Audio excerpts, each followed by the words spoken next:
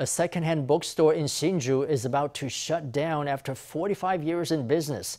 Book lovers in Hsinchu have been taking refuge in Seaside Books since 1978. It was founded by a post-war Chinese immigrant who then passed it on to his dear friend.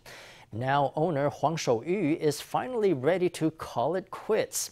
The locals are now rushing to spend a few more precious moments in their beloved store and pick up a bargain at the same time. With the rise of online retail, brick and mortar bookstores like this one are a vanishing breed. This eye-catching blue sign reading Seaside Books has hung here for 45 years. But now the owner is preparing to close the shutters for the last time.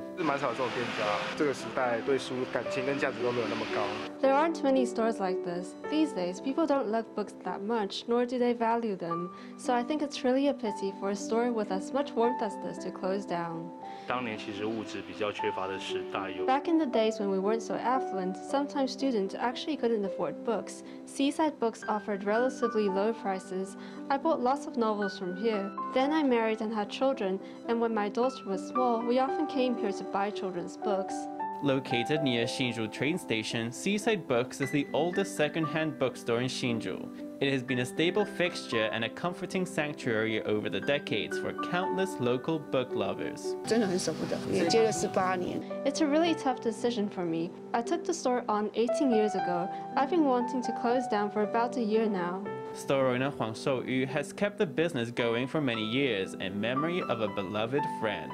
45 years ago, Chinese Nationalist Army veteran Chen Yao rented the store and opened Seaside Books, naming the store to reflect his love for his homeland across the Taiwan Strait.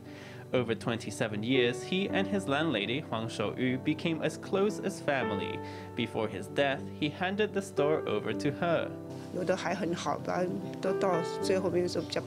Some of the books are still in great condition. At the very end, I will send them off more cheaply.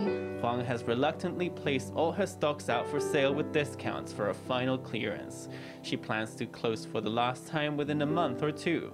In the meantime, she hopes to give the store a send-off fit for a local treasure.